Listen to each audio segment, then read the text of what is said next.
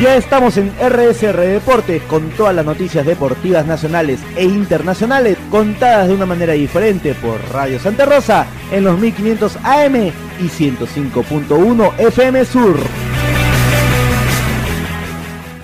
Hola amigos de Radio Santa Rosa, hoy iniciamos una edición más de RSR Deportes.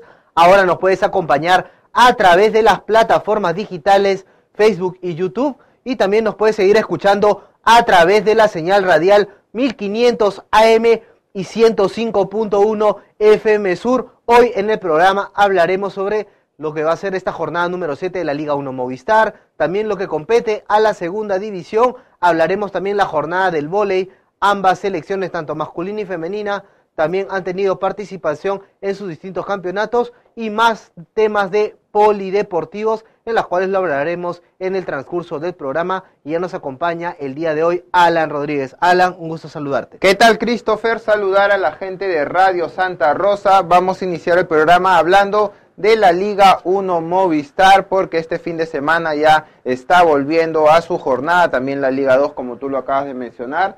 Pues ya esta, esta semana y la semana pasada hemos hablado mucho de la selección peruana, los dos amistosos que ha tenido frente a Ecuador y Brasil. Hemos sacado bastantes conclusiones. Creo que Ricardo Gareca también tiene cosas que mejorar y también los jugadores nuevos ¿no? que aparecieron en estos dos últimos partidos, Christopher, y creo que la más destacable o lo más rescatable que podemos ver de los nuevos convocados es la de Gaby Costa. ¿no? Vamos a ver cómo le va a la selección para sus próximos amistosos frente a Uruguay. Ahora sí, hablamos de la Liga 1 Movistar Christopher y vamos a arrancar con Sporting Cristal, quien ya tiene nuevo técnico, se anunció a Manuel Barreto, el director técnico que estaba en las divisiones menores de Sporting Cristal, va a tomar el mando del primer equipo cervecero, así lo anunciaron ayer en un comunicado, entonces va a ser el debut este fin de semana de Manuel Barreto en primera división. Recordemos que él fue exfutbolista, jugador de universitario en los años 90, luego pasó tres temporadas al Bolognesi de, al Bolognesi de Tacna para luego culminar su carrera deportiva a temprana edad y luego dedicarse a la dirección técnica. Ha pasado por Universitario de Deportes en las divisiones menores y luego culminó su carrera o cayó ¿no? a Sporting Cristal que venía trabajando hasta ahora y ha llegado al primer equipo Vamos a ver, Christopher, cómo le va a Manuel Barreto en esta nueva versión, ¿no? Como técnico de primera división y al cargo ya de Sporting Cristal, con un primer equipo que creo que el cuadro cervecero tiene muchos jugadores este, de buen pie, talentosos, tiene un elenco o una plantilla muy rica que cualquier otro equipo desearía tener, entonces hay que ver si los, si los resultados lo acompañan hasta fin de temporada para saber si quizá pueda dirigir la próxima campaña del cuadro de Cristal o quizá Sporting Cristal solamente ya esté pensando en qué técnico este tomar, ¿no? Pensar para que pueda dirigir la próxima temporada de Sporting Cristal porque se hablaba mucho de Julio César Uribe, pero finalmente han decidido por Manuel Barreto. Bueno, lo de Julio César Uribe, lo que hemos hablado también de otros técnicos importantes, en este caso el ex técnico del Royal Par y también Roberto Mosquera. Eh, son rumores que no se pueden descartar porque solo le han dado este contrato hasta culminar la temporada. Dependiendo de lo que pueda pasar, Cristal está entre los primeros puestos.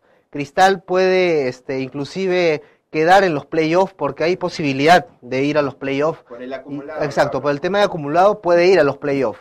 Pero todo va a depender de cómo el cuadro del Sporting Cristal también este, pueda comportarse en lo que queda de la temporada y también, ¿no? De repente se le da la oportunidad al mismo este técnico, ¿no? Que ahora está asumiendo la primera división, ha estado con el equipo de reserva, en las cuales también ha tenido muy buenos resultados en los últimos años y todo depende de cómo pueda dar este frutos, ¿no? Ahora el nuevo técnico de Sporting Cristal, ¿no? Manuel Barreto, que tiene mucha experiencia como jugador de primera división y también ya conoce cómo es el ambiente, ¿no? Cómo puede este, eh, plantearse varios equipos y también sobre todo a qué se están sometiendo, ¿no? Manuel Barreto que va a contar también con un comando técnico en las cuales también están jugadores experimentados, por ejemplo, Jorge Soto, que lo va a tener como asistente técnico, así que va a ser importante también lo que pueda eh, rendir y sobre todo las estrategias que pueda brindar, sobre todo que también que se adapten los jugadores ahora a un nuevo ritmo o posiblemente también respeten Jorge Soto, quien ya conoce mucho el club, es jugador, uno de los ídolos también de Sporting Cristal, jugó muchas temporadas, ha sido varias veces campeón. Entonces Manuel Barreto tiene mucho por trabajar y creo que es un técnico muy estudioso, que ha trabajado mucho en divisiones menores, ha sido un formador, es un formador, solamente que ahora va a tener la, el privilegio ¿no? de dirigir en primera división, vamos a ver cómo le va. Y hablando del tema dirigencial, muchos hablan de que Sporting Cristal este año no le ha ido muy bien, ¿no? Porque ha cambiado hasta tres técnicos. Muchos hablan desde la salida del chino Benavides. Mucho se habla desde que este año el chino Benavides... Pero él por propia voluntad, ¿no? Propia voluntad, pero de ahí creo que ha habido cambios... Como él lo dijo, ¿no? Creo que había culminado la etapa este presidencial a cargo de Sporting Cristal que dejaba a un lado a la nueva dirigencia, gente más joven, gente que podía tener más oportunidades en el cambio futbolístico. También sabemos que Sporting Cristal es un club que lo tomamos mucho como ejemplo porque no tiene muchos problemas económicos, ningunos problemas con la Federación Peruana. Entonces, entonces vamos a ver cómo le va.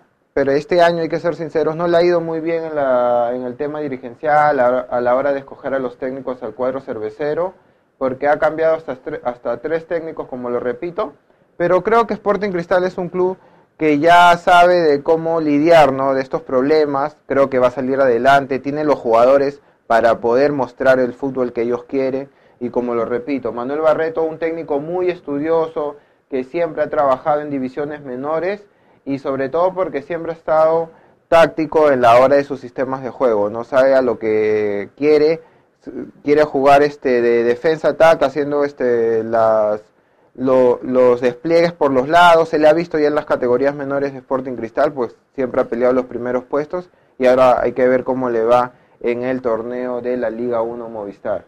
Bien, vamos a ver cuál va a ser todo lo que queda del resto del año para Manuel Barreto y todo su comando técnico, porque se le viene una agenda apretada por también ya no tiene tantos compromisos, ¿no? Ahora debuta debuta con, Municipal. Este fin de semana va a jugar con el Deportivo Municipal, su primer partido, en las cuales dicen que técnico que debuta gana. Vamos a ver si también sí se da en esta oportunidad para el cuadro cervecero y ahora difícil también como municipal porque creo que el cuadro del Muni le ha faltado mucha jerarquía en estos últimos partidos a lo contrario que había hecho en el torneo de apertura, ¿no? Igual fue eliminado muy rápido de la Copa Sudamericana, viene unas seguidillas de perder, entonces creo que quieren de nuevo trepar en el acumulado, se han desplegado ya universitario, lo ha pasado, entonces creo que va a ser un duro rival para Sporting Cristal y hay que ver también cómo reacciona el Deportivo Municipal Christopher y también vamos a tener Alianza Lima, ¿no? Quien va a jugar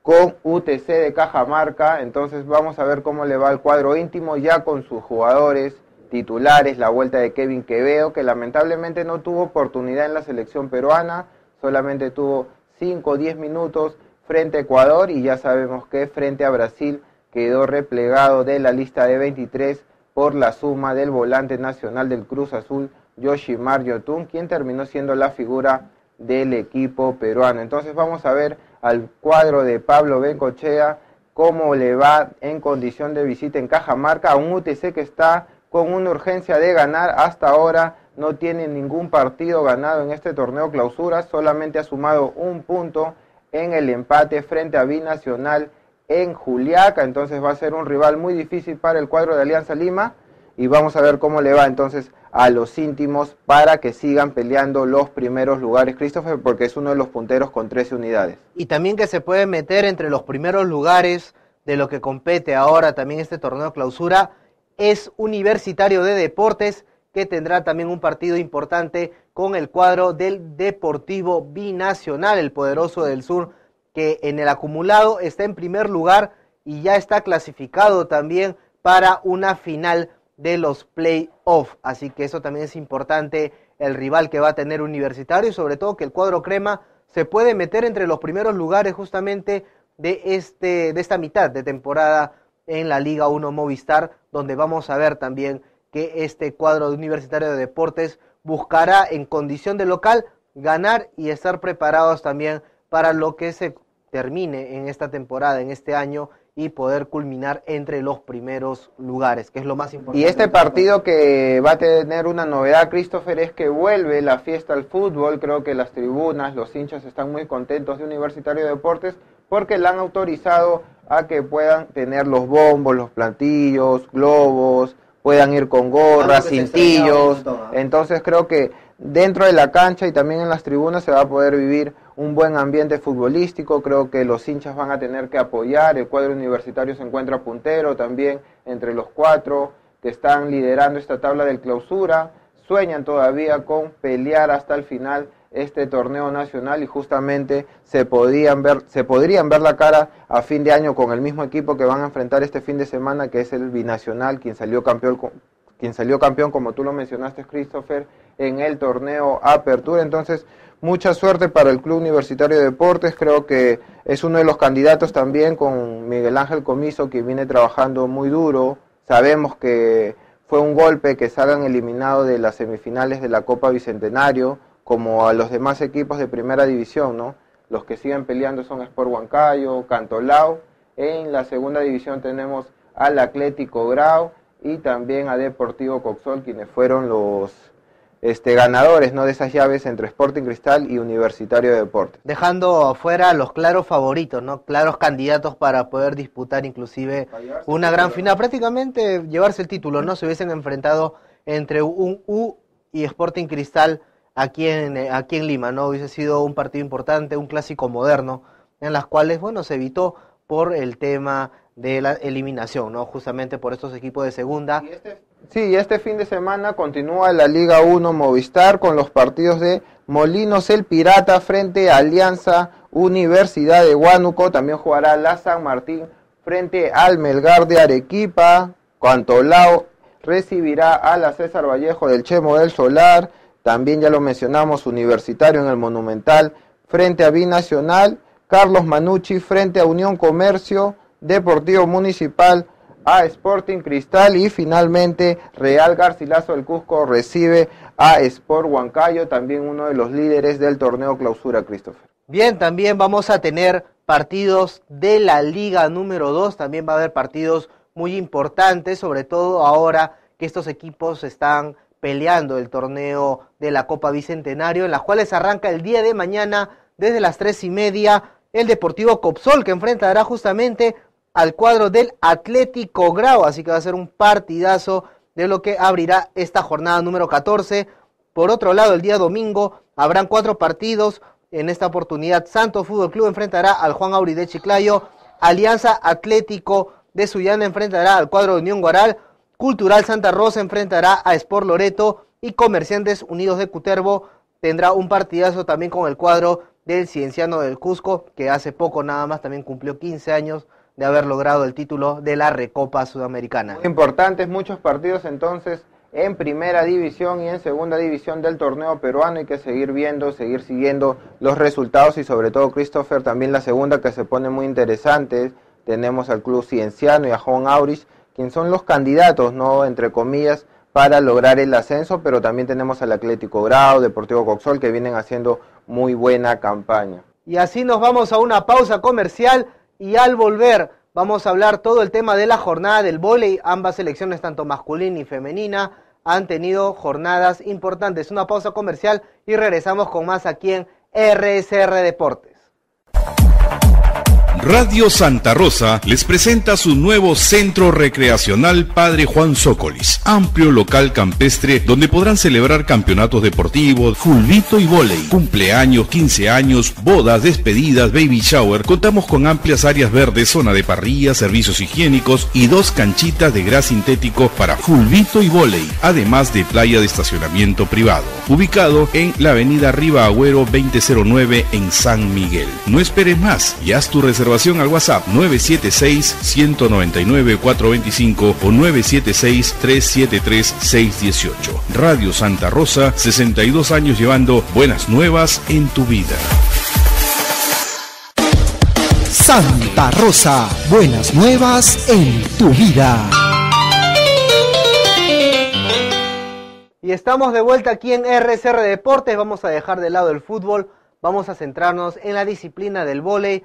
Ambas selecciones, tanto la masculina y la sub-18, han tenido también participaciones en sus distintos campeonatos. Sí, vamos a arrancar con el voleibol sub-18 que está que se disputa este mundial en Egipto, donde la selección peruana lamentablemente quedó eliminada Christopher en cuartos, en, cuartos de final frente a Italia, y había perdido por 3 6 a 0 y esta vez el día de hoy cayó ante Rumania también por 3 a 0, ya peleando por una disputa entre el quinto y el sexto lugar, pero lamentablemente con esta derrota Christopher vamos a pelear por el séptimo lugar la próxima fecha, ¿no? Perú perdió con sex de 25 a 20, 25-21 y 25-17. Christopher, esta vez con la selección europea creo que fue más peleada, las chicas trataron de tener o mantener el mismo nivel que tuvieron en fase de grupo, incluso con la gran victoria que tuvieron frente a Argentina también cuando le ganaron por 3 6 a 1. Entonces, creo que no les ha ido muy bien. Sabemos que estas selecciones europeas son muy fuertes, trabajan mucho desde la base de categorías menores el voleibol también creo que está pasando factura o ya en el voleibol moderno la talla de las jugadoras, ¿no? Se ven muchas jugadoras altas, incluso hasta las suplentes, ¿no? Que entran, la que hace los ataques, los bloqueos sobre todo, ¿no? Donde hemos tenido bastante dificultad para poder recepcionar los ataques de los rivales. Justamente con esta selección italiana, cuando caímos en cuartos de final, fue la dificultad el hecho de que las jugadoras justamente mencionado por Alan, las talla, estas jugadoras italianas que pasaban tranquilamente, pasaban los metros 85 y a comparación de las jugadoras peruanas que normalmente junto con las chilenas son la, de las tallas más bajas y teniendo en cuenta cómo llegaba justamente esta selección italiana superando al cuadro de Puerto Rico, también lo venció por 3 sets a 0 y es uno de los claros candidatos ya que tanto en Lima 2015 y también en el año 2017 son las actuales bicampeonas de esta categoría y es por eso que muchas de ellas también están ya participando en la selección mayor. Alan, hemos enfrentado a un rival también en estos cuartos de final que ha sido difícil, ¿no? Claro. Y esto ya lo veníamos hablando, no es que Italia, eh, que el hecho de que no lo veamos tanto en el vóley, eh, ahora teniendo estos datos, ¿no? Que es bicampeona ya de esta categoría, creo que es resaltante lo que han hecho durante todo este tiempo y es por eso que también mantienen un nivel y son claros favoritos para llevarse también este certamen. Y a pesar que nosotros llegamos como campeonas sudamericanas, también sabíamos que iba a ser mucho este, la experiencia ¿no? en este Mundial Sub-18. Muchas chicas, es su debut en un torneo internacional. Sabemos que el trabajo de Natalia Málaga también era indispensable porque ella ya tiene experiencia con las chicas, con juveniles, entonces ha dirigido bastantes categorías y esta vez creo que le ha ido muy bien, ¿no? A pesar de ahora quedarnos entre las ocho mejores del mundial, vamos a pelear por este séptimo lugar y creo que van a tratar, la selección bicolor va a tratar de, de hacer su último partido, su último juego de la mejor manera que puedan, ¿no? Sabemos que en el estado anímico quizá no sea el mejor, ¿no? Pelear por un séptimo puesto, ¿no? En estas condiciones creo que no es lo más agradable, pero creo que Natalia Málaga, ya la conocemos, va a pelear o va a mandar a sus chicas a dar el todo por el todo para que le puedan dar una alegría y terminar este mundial con una victoria, Christopher. Porque es importante también porque esta camada va a salir para lo que va a ser la próxima selección mayor. O sea, tenemos... Sí, sobre todo también porque hay una participante ya conocida por la selección mayor, Thaisa McLeod, que es una de las mejores jugadoras que ha destacado en este campeonato mundial, ha sido de, los, de todos los partidos que ha disputado Perú, ha sido la máxima anotadora con 13 a 14 puntos que ha llegado, así que... Podríamos decir, podríamos decir que tuvo la oportunidad de liderar ¿no? esta selección sub-18, era la que tenía más experiencia, llegaba con un Panamericano encima de Lima 2019, entonces tiene ese roce internacional ya y vamos a ver cómo le va más adelante, como tú lo mencionas. No cabe duda que estará en la próxima convocatoria del español Herbas para la selección mayor Christopher y también jugó en la selección de voleibol masculina. Bien, también esta selección de voleibol masculina que venía cayendo, en este caso en la oportunidad con Chile en la segunda fecha, había caído por tres sets a cero y ahora se enfrentaron con la selección boliviana que también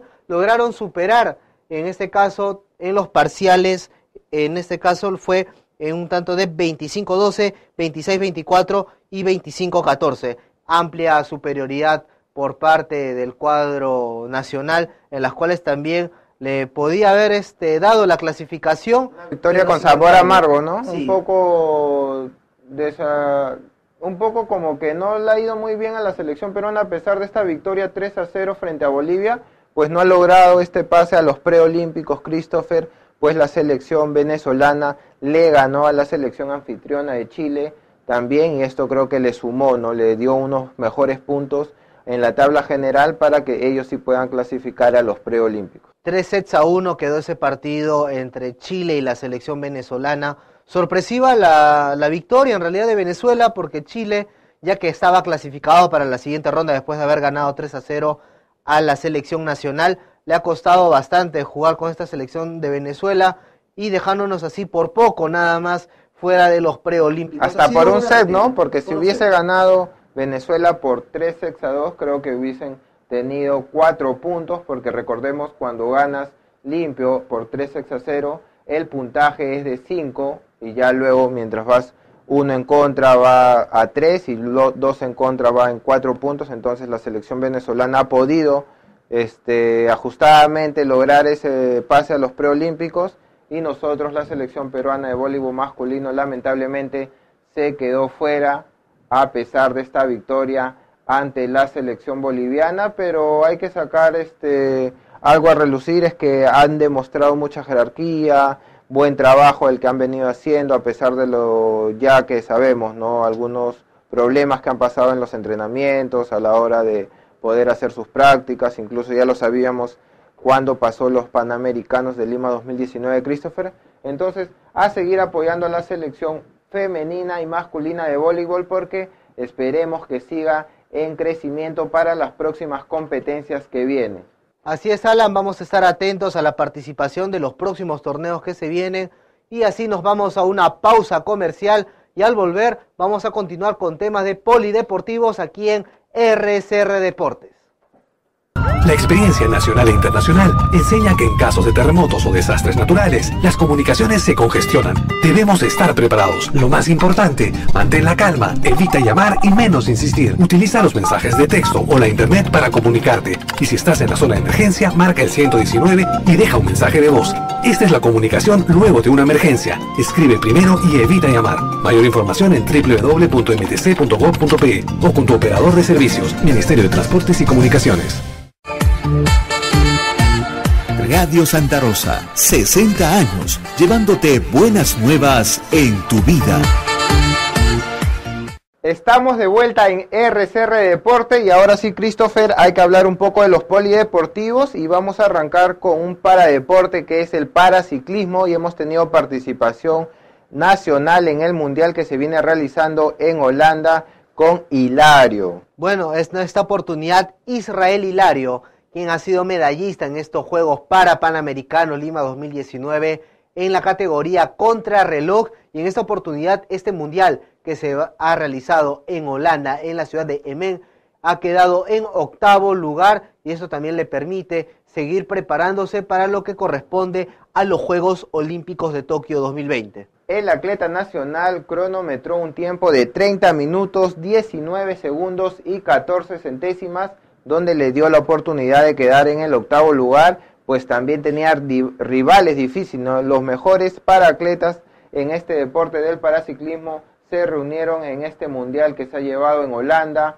para disputar también algunos puntajes que le dan la clasificación a Tokio 2020, pero recordemos que ya Hilario estaba clasificado ya por haber logrado la medalla de oro en los Juegos para Panamericanos Lima 2019. Fue uno de los mejores representantes nacionales en este deporte. Pero justamente antes inclusive de participar en estos Juegos para Panamericanos Lima 2019, él ya había llegado al tope de los puntos para conseguir su clasificación. Es bien campeón este, para Panamericanos. Recordemos que también se llevó la medalla de oro en Toronto, entonces ha sido una buena participación. A pesar de este octavo lugar, hay que seguir trabajando. Sabemos que se ha enfrentado a los mejores del mundo y todavía creo que tiene mucho que remar, creo que esto es el inicio nomás de lo importante que va a tener en su carrera y sabemos que va a dar lo mejor de sí, va a mejorar su cronometraje, va a venir realizando otras competencias Christopher y esta es una prueba de lo que va a ser Tokio 2020, ¿no? También se va a enfrentar a distintos atletas a nivel mundial y esperemos que nuestro atleta nacional siga mejorando su tiempo. Bien, y en otra disciplina, ya para despedirnos de la edición del día de hoy, Alan, se vienen también los preolímpicos del boxeo y en esta oportunidad se va a acontecer en Buenos Aires, Argentina. Ya se vienen preparando también muchos boxeadores peruanos que buscarán también su cupo para los Juegos Olímpicos de Tokio 2020. Va a ser muy importante, uno de los deportes que se está sumando nuevamente para la suma de los puntos para los Juegos Olímpicos Tokio 2020, en este caso va a ser el boxeo. Tenemos ya algunos boxeadores que han, que han logrado medallas en los Panamericanos, pero también hay otros que se vienen preparando. Christopher, todavía no tenemos la delegación, todavía no han anunciado el comité de boxeo quiénes van a participar de esta, de esta competencia que se va a realizar en Argentina, pero ya en los próximos días, porque también hay unas competencias nacionales donde se está reconociendo a los mejores boxeadores nacional para que puedan luchar por los Juegos Olímpicos Tokio 2020 por estos puntajes en sí, que va a ser importante también tener participación nacional, Christopher, y no solo en el boxeo, sino también, como ya lo venimos anunciando, ayudo, el taekwondo, que se van a venir muchas competencias en Chile. Y lo que se viene también para el Perú es importantísimo porque estamos hablando del badminton, donde vamos a tener también una competencia internacional en los próximos meses, ya con nuestras vías panamericanas en un buen estado, con este legado que nos está dejando Lima 2019 y ese es un, un importante paso para el deporte peruano, Christoph. También se viene lo que es el Mundial de Vela, María Belén Vaso también va a estar participando en una de las competencias importantes donde también se disputa lo que se podría hacer también su clasificación a Tokio. Se vienen muchas competencias, sobre todo también el surf, en las cuales hemos estado hablando durante toda esta semana de mucha competencia. No podemos dejar de lado ni podemos ser ajenos a lo que está pasando con nuestros atletas que han estado también presentes en Lima 2019. Sí, como lo hizo, ¿no? Vienen participando también de la competencia del de Lisa, en, entonces en Japón ya salió mundialista, campeona, nuestra gringa, ¿no? Sofía Mulanovich, entonces creo que ha sido importantísimo esta participación de los atletas, ya luego culminado estos Juegos este, Panamericanos y para Panamericanos de Lima 2019, porque el trabajo sigue, ¿no? Creo que mucha gente también, luego de este evento internacional, que hemos tenido acá en la ciudad de Lima. Se ha olvidado de algunos deportistas, por eso hemos estado viniendo anunciando cada deporte, ¿no? De a pocos, ¿no? Para enterarnos lo que vienen haciendo luego de estos Juegos Panamericanos y para Panamericanos nuestros atletas nacionales, Christopher, y como ya lo acabamos de anunciar, muchos están compitiendo en mundiales, sudamericanos, y ya están consiguiendo objetivos importantes, como lo acabo de mencionar la, a la surfista nacional Sofía Mulanovich, quien después de 15 años salió con este campeona mundial ISA, entonces es importante también lo que van a venir haciendo los demás deportistas para esta suma de puntaje de lo que será Tokio 2020. Y así culminamos la jornada del día de hoy. Ha sido una semana importante, interesante, por las participaciones en todas las disciplinas deportivas y también invitarlos a todos ustedes que nos sigan a través de las redes sociales y en el canal de YouTube como Radio Santa Rosa. También pueden visitar la página web www.radiosantarosa.com.p donde se van a enterar las noticias deportivas nacionales e internacionales y también van a encontrar la coyuntura política. Entonces, Christopher, muy atentos a este fin de semana, se vienen muchos deportes, vuelve la Liga 1 Movistar, la Liga 2, ya, ya hemos hablado de eso. También la próxima semana tenemos Champions League, entonces vamos a estar muy atentos a los distintos deportes internacionales que se vienen. Bien, también vamos a agradecer al equipo de producción Allenberg Pittman, también ha estado con nosotros Milton Moreno y Adolfo Quinteros, y también agradecer por su participación aquí en RCR Deportes, y con nosotros será hasta la próxima semana. Esto fue RSR Deportes, con todas las noticias deportivas nacionales e internacionales contadas de una manera diferente por Radio Santa Rosa en los 1500 AM y 105.1 FM Sur.